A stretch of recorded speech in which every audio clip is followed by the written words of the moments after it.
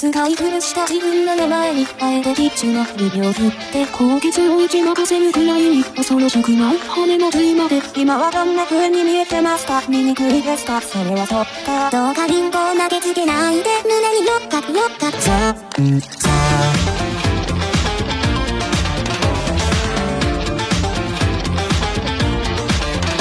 鏡をご覧